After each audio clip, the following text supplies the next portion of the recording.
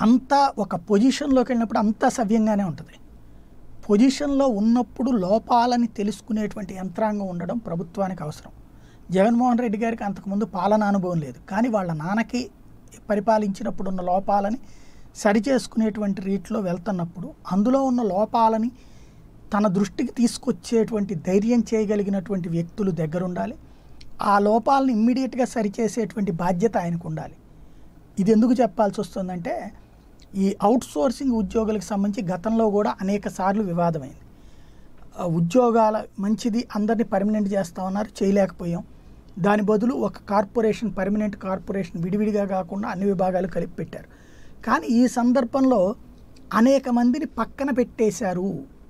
వాళ్ళని పర్మనెంట్ చేయకపోగా వేధిస్తున్నారు వాళ్ళ వాళ్ళ శాఖలలో. ఒక విద్యుత్ ఉద్యోగులు ఎవరైతే ఇళ్ళ దగ్గరికి వెళ్ళి మీటర్ రీడింగ్ తీసుకుంటారో వాళ్ళు అట్లాగే ఇబ్బంది పడుతున్నారు. ఎస్సీ ఎస్టీ కార్పొరేషన్లో పనిచేస్తున్నటువంటి అవుట్సోర్సింగ్ ఉద్యోగులకు కూడా సేమ్ ప్రాబ్లం. ఒక మిత్రుడు పంపించినటువంటి లెటరు ఆంధ్రప్రదేశ్ రాష్ట్ర ఎస్సీ ఎస్టీ డిపార్ట్మెంట్లో మేము పనిచేస్తున్నాం. సొంత డిపార్ట్మెంట్ అధికారులను సహ ఉద్యోగులను కాంట్రాక్ట్ ఉద్యోగులను మానసికంగా వేధిస్తున్నటువంటి అంశానికి సంబంధించి మీ దృష్టికి తీసుకొస్తున్నాం.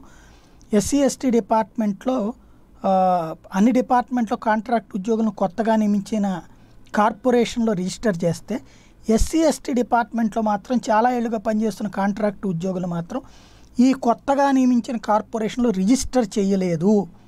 ఒక ఏపీఓ అధికారి డీడీ అధికారి అడ్డుపడి ఆపి వారికి గత ఆరేడు నెలలుగా జీతాలు కూడా ఇవ్వకుండా వేధిస్తున్నారు. పని మాత్రం చేయించుకుంటున్నారు. ఇది వీళ్ళ ఆరోపణ. దీనికి ఇంకా చాలా రాసుకొచ్చారు కానీ అందులో ఎంతవరకు నిజం ఉందన్నటువంటిది మనకి తెలియకుండా ఒక వ్యక్తుల మీద కొన్ని పేర్లు మెన్షన్ చేశారు కాబట్టి వాళ్ళ మీద ఆరోపణ చేయట్లేదు. ఇక్కడ కాంట్రాక్ట్ ఉద్యోగుల పర్మనెంట్కి సంబంధించి ఒక కార్పొరేషన్ పెట్టి ఆ కార్పొరేషన్లోకి అటు ఇందాక ఇంతకుముందు నేను చెప్పినట్టు విద్యుత్ అవుట్సోర్సింగ్ ఉద్యోగుల్ని మీటర్ రీడింగ్ ఉద్యోగుల్ని పెట్టలేదు. ఇటు వీళ్ళని పెట్టలేదు. వన్ నాట్ ఫోర్కి సంబంధించి పాత వాళ్ళని పెట్టలేదు. అక్కడ కొంతమంది జీవితాలు వీధుల పాలు చేశారు అన్నటువంటిది తెలుసుకోవాల్సింది. అది తెలియచెప్పేందుకు ఆయా శాఖల వాళ్ళు సిద్ధంగా లేరు. ఈ బాధితులైనటువంటి ఉద్యోగులు ముఖ్యమంత్రిని కలవడానికి వెళ్తే కలవనిచ్చే పరిస్థితి లేదు.